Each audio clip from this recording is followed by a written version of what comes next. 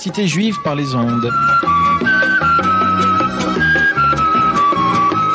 Une émission proposée par la Fondation Sepharad 92 et la Fédération Sepharadi de France. Ce soir, quatrième et dernier épisode de l'histoire des Juifs de France avec Madame Béatrice Philippe.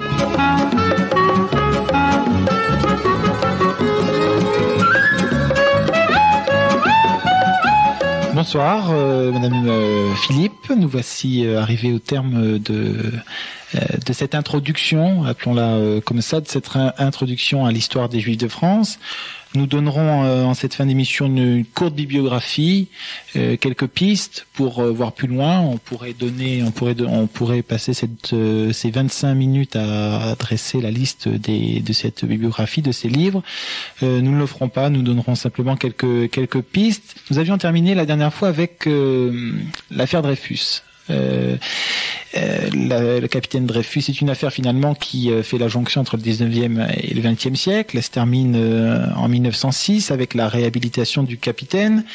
Est-ce que cette réhabilitation met, fin à un antisémitisme, pardon, que je qualifierais de virulent? Fin. Est-ce qu'on peut dire que l'antisémitisme a une fin? Euh, je n'en suis pas certaine. Mais en tout cas, euh, l'affaire a tout de même prouvé que euh, l'intelligentsia d'un pays peut se mobiliser pour une cause qu'elle estime juste. D'autre part, ce sont finalement, c'est le parti de la révision euh, qui l'a emporté euh, politiquement. Bien entendu, euh, les gens qui sont antisémites le demeurent dans le fond de leur cœur. On ne peut pas les en empêcher. Mais à cette époque-là, eh bien, ce problème passe tout de même au second plan, car euh, vous le savez, la situation euh, de la France, la situation politique évolue dangereusement et les gens ont véritablement l'esprit un peu occupé ailleurs. Hum. La séparation de l'Église de l'État, c'était en 1905. Est-ce qu'elle touche indirectement la communauté juive? Euh, oui, elle la touche tout à fait, même euh, directement, dans la mesure où depuis 1831, euh, les rabbins étaient salariés par l'État. Bon, je veux bien qu'ils touchaient le même salaire euh, que les prêtres et que les rabbins sont généralement chargés de famille, donc ça ne leur suffisait pas et ils étaient aidés par leur casuel. Mais enfin, il est évident que ça touche également les juifs et ils le prennent bien il l'accepte très bien, alors que vous savez, euh, l'Église l'acceptera euh, pas bien euh, du tout. Mais certainement, ça les touche. 1905, c'est aussi euh, le coup de Tanger. Euh, Guillaume II essaie de et fait le forcing pour employer une expression peu très peu jolie contre contre la France. On sent la guerre arriver. Est-ce qu'à cette époque-là, les Juifs sont, selon une expression, plus français que les Français? Ben, la communauté juive à cette époque-là euh, se compose encore très majoritairement euh, de juifs euh, venus d'Alsace et de Lorraine. Certains sont partis au cours du XIXe siècle, d'autres sont partis en 1870-71 et un peu plus tard pour ne pas devenir allemands. Alors il est bien évident que ces gens-là sont des nationalistes à tout craint et qu'ils rêvent pour nombre d'entre eux, de euh, reconquérir euh, ce qui fut le berceau euh, de leurs arrière-grands-parents ou de leurs grands-parents. Donc ils sont tout le monde est très patriote. Vous savez, les enfants ont été éduqués par des instituteurs très patriotes, et les juifs sont en tout cas aussi patriotes que les autres. Est-ce qu'on voit des rabbins sur les, les dessins de Hansi, par exemple? Euh, je ne sais pas. Dans mon village, il me semble qu'il y a un, rabbin, mais je ne suis pas tout à fait certaine. Par contre, on voit un rabbin qui est véritablement euh, la figure euh, emblématique dans l'ami Fritz, d'Erkman et Chatrian, le rabbin Sichel, qui beaucoup plus que le curé qu'on ne voit pas, dirige tout ce petit village d'Alsace. Bon, pendant la guerre de 14, les rabbins seront aumôniers et feront très très bien et très courageusement leur travail. Alors de, de Herkman-Chatrian à l'invasion, il n'y a, il n'y a qu'un pas que nous allons franchir. 1914, Hélas. la guerre, l'union sacrée aussi, les Juifs y participent. Est-ce que est-ce qu'ils y participent pleinement? Est-ce que par exemple ils vont manifester en, tant que tels ou en tant que Français ou en tant que Juifs à cette euh, Ah non non non. Alors là, les Juifs sont euh, français et partent en tant que soldats ou officiers français sans absolument l'ombre d'un doute ou euh, ça, ça n'existe pas. Je vous dirais qu'en Allemagne à la même époque, les Juifs partent de la même manière. Les gens chantent la Marseillaise et les, gens, les autres chantent euh, Deutschland du Boral, sans aucun état d'âme. Euh, les états d'âme, il y a des gens qui auraient pu en avoir ce sont effectivement les immigrés, c'est-à-dire ces gens qui ont fui euh, les pogroms russes euh, à partir de 1882 et de 1905 pour venir s'établir en France. Ces gens-là, effectivement, tout d'un coup, euh, se demandent s'ils doivent aller combattre avec la France, qui est l'allié du tsar, s'ils doivent aller combattre avec cette France-là car finalement, le tsar, ils n'en ont pas qu'à se louer. Euh, bien sûr, il y aura une propagande euh, très importante des juifs français. Et euh, les immigrés, au moins 10 000 immigrés, s'engagent dans la Légion étrangère et vont souvent se battre dans des conditions au moins, sinon plus pénibles que les autres. Mhm. Beaucoup tomberont. À cette époque-là, la, la, population, la structure de la population juive française évolue ah, tout à fait. Euh, l'évolution commence en 1882. Euh, petit à petit, les gens qui peut-être en ont eu l'idée quittent les territoires du tsar. Et euh, ceux qui viennent en France ne sont pas très très nombreux par rapport à tous ceux qui émigrent vers les États-Unis. Mais n'empêche que petit à petit, là, le poids de cette population euh, sera euh, plus important et que cette évolution va se poursuivre, n'est-ce pas, euh, jusqu'à la Seconde Guerre mondiale, puisqu'à la Seconde Guerre mondiale, eh bien, sur 300 000 juifs, 200 000 sont encore étrangers. Donc, petit à petit, ne parlons plus des contadins que pour mémoire, des Bordelais que pour mémoire, même les Alsaciens lorrains deviennent petit à petit minoritaires.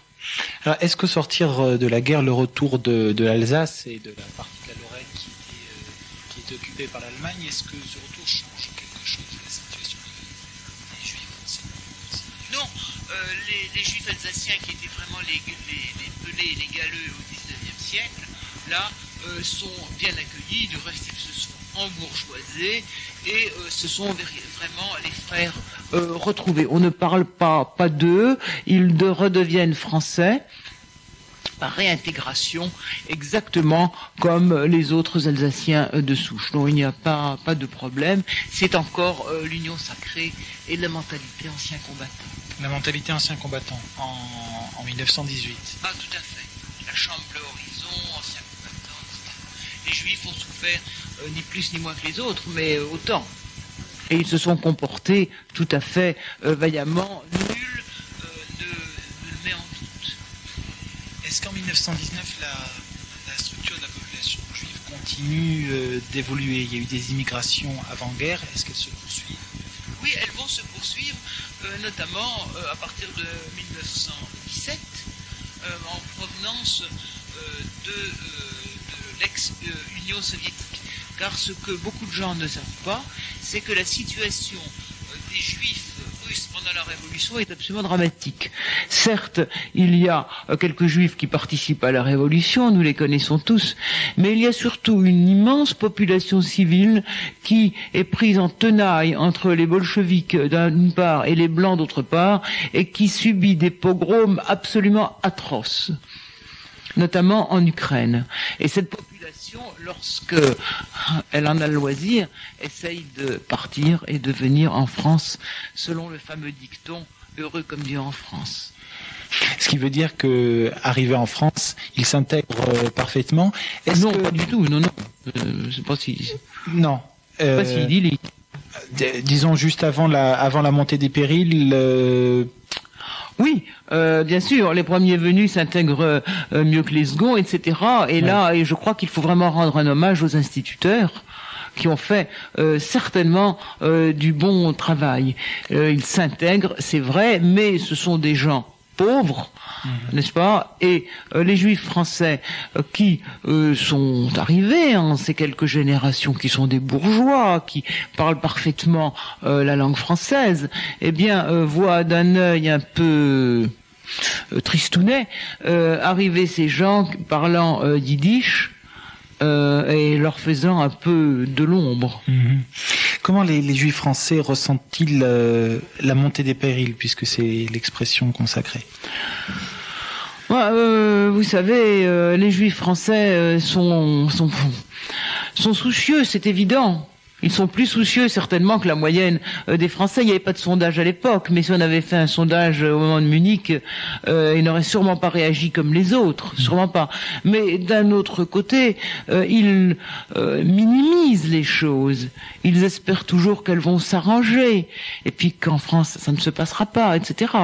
Ils sont moins aveugles que euh, les autres Français, mais malgré tout, ils n'ont pas une vue très nette.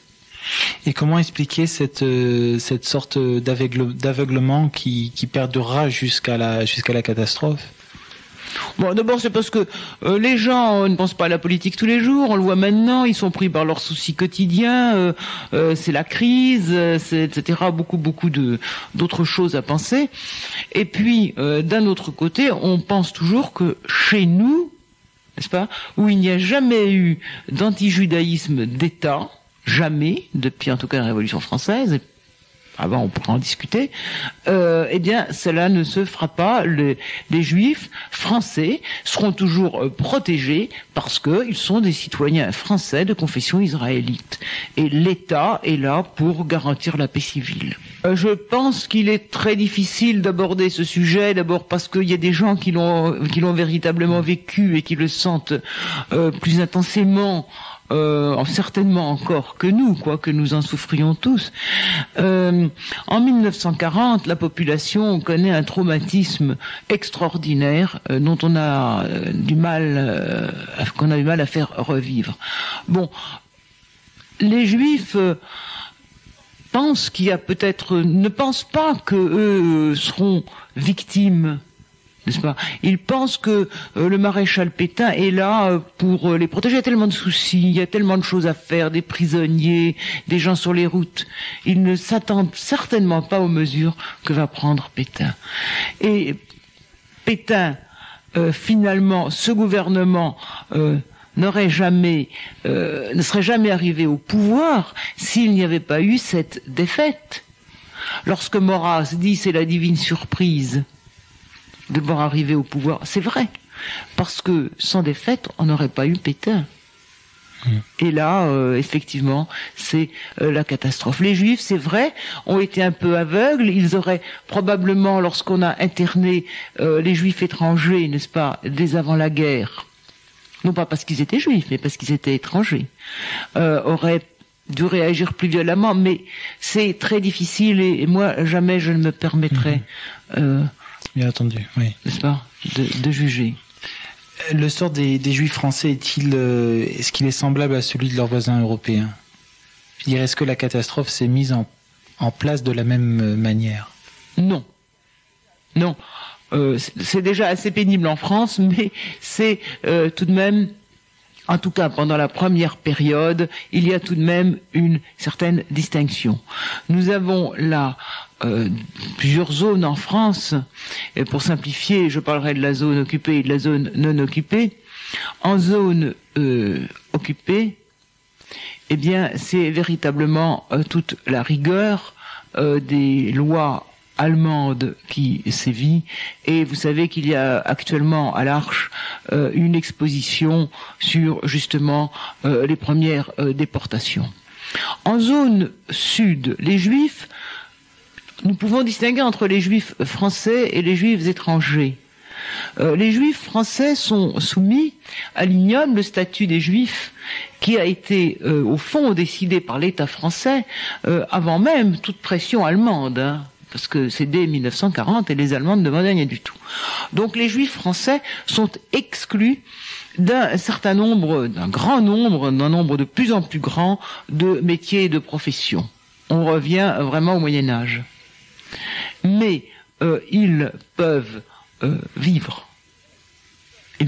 par contre, le sort des juifs étrangers est immédiatement très mauvais euh, en zone sud, puisque ces gens ont souvent été internés euh, dès 39 et que c'est dans ces camps euh, de la zone sud que euh, vont être pêchés et raflés les gens pour la déportation. On peut dire que le gouvernement de Vichy, et en particulier Laval, mais pas que Laval, hein, parce que c'est trop facile, ont donné ces gens qui avaient trouvé asile sur notre sol.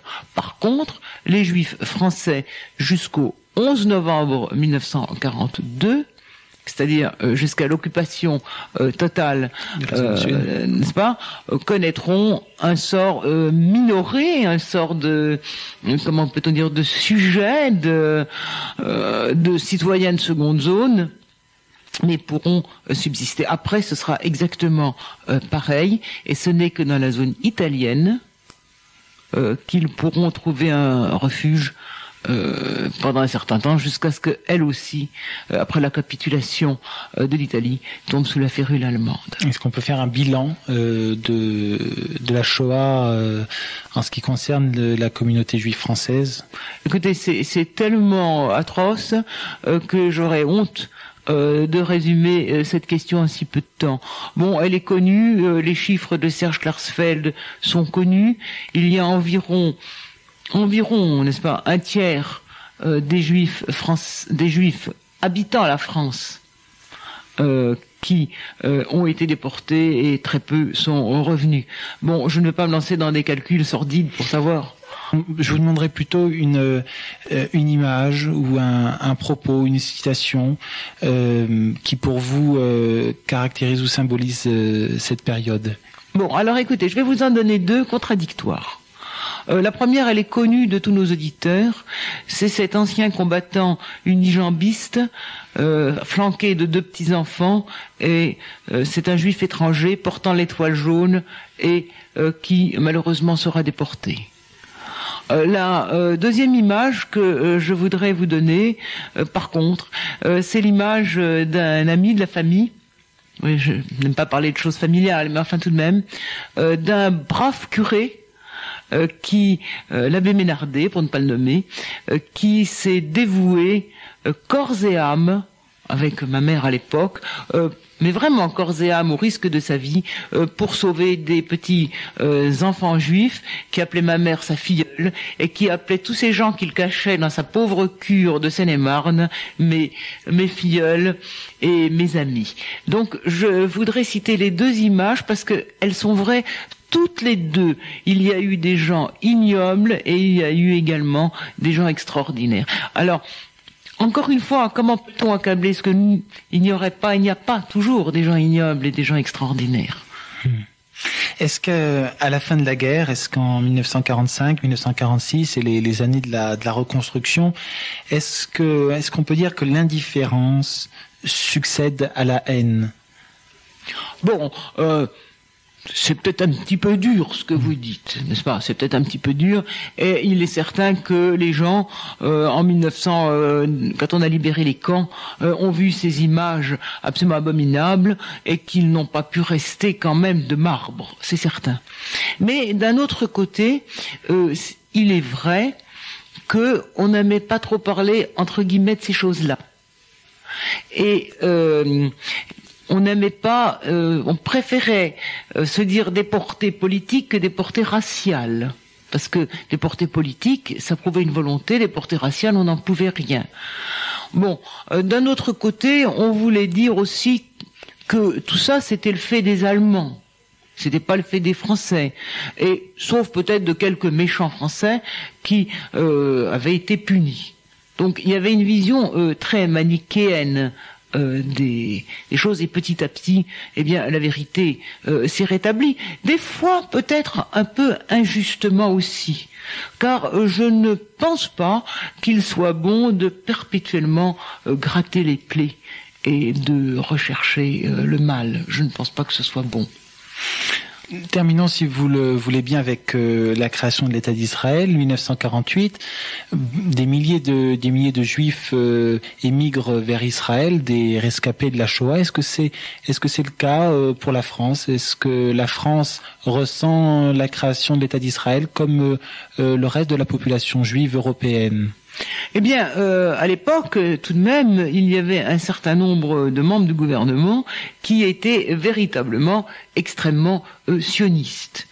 Et euh, bon, je pense à Léon Blum, n'est-ce pas? Mais euh, il y en avait euh, encore d'autres. Un homme comme Bidot était un sioniste, etc. Et pendant la période où s'est formé l'État en 1946-47, eh bien, on, sait parfaitement que le gouvernement français a plutôt favorisé les Juifs et les sionistes. Lorsque l'État d'Israël est créé, c'est certainement considéré comme un événement euh, favorable et heureux. Réaction des Juifs de France. Sont partis en Israël euh, énormément de personnes déplacées qui n'étaient ici euh, qu'en transit. Sont partis également un certain nombre d'idéalistes n'est-ce pas, de, de gens, beaucoup d'Alsaciens, du reste de Juifs d'Alsace, qui sont partis pour refaire quelque chose, mais évidemment, euh, la population, l'ensemble de la communauté juive n'a pas euh, beaucoup bougé. Est-ce à dire qu'elle n'a pas euh, reconnu ce que lui apportait Israël? Ça, je ne le crois pas. Je crois qu'il n'y a pas eu un homme ou une femme consciente dans ce pays qui n'a pas compris qu'Israël pouvait donner quand même la fierté et qu'il était du devoir des Juifs que ce pays représentait quelque chose de particulier pour lui, tout en pouvant rester un excellent euh, citoyen français aimant son pays. Ce ne sont pas euh, les problèmes de double allégeance, vous le savez, n'existent pas. C'est une chose qui n'existe pas. On peut parfaitement être euh, un, citoyen digne de ce nom et en même temps avoir un amour peut-être pour la terre des Juifs. Bien voilà la conclusion qui résume, je crois, assez bien le euh, le sentiment des, Juifs français. J'aimerais, euh, pour terminer, puisqu'il nous reste quelques secondes, non pas donner une bibliographie sur toute l'histoire des Juifs de France, simplement une collection, citer une collection, et je vous laisse le faire. Bon, alors on ne donne pas de bibliographie parce que ce serait un petit peu long et fastidieux. Ceci dit, euh, si des personnes sont intéressées, elles peuvent m'écrire par l'intermédiaire euh, de la radio et je les aiderai dans la mesure de mes moyens. Mais je voulais citer une nouvelle collection toute jeune, toute jeune et pas chère, euh, chez Albin Michel, euh, où ont été publiés un certain nombre d'ouvrages, notamment sur Théodore Herzl, je cite pêle-mêle et je ne veux vexer personne, euh, sur les juifs à Amsterdam, sur les Juifs dans le conte à Vénessin, sur la disputation, sur Rachi, des petits livres petit format, très facile à lire et je crois très agréable. Alors je cite, c'est chez euh, Albin Michel et l'ouvrage vaut 40 francs. Alors euh, je, vraiment je vous conseille cette collection. Ceci dit, je suis prête à vous aider pour tout le reste. Et moi je me permettrai de citer en forme de remerciement pour votre présence durant 4 fois 25 minutes. comment comment sera-t-il intitulé? Euh, je crois être juif à Paris à la fin du 19e siècle. Merci beaucoup. Merci euh, d'avoir euh, fait pour nous cette histoire radiophonique. C'était une première des Juifs de France, Béatrice Philippe. La semaine prochaine, l'université radiophonique accueillera le professeur Nibroski, enseignant à l'INALCO pour, eh bien, ma foi, quatre cours sur les langues et la littérature yiddish. Merci de votre attention. Bonsoir.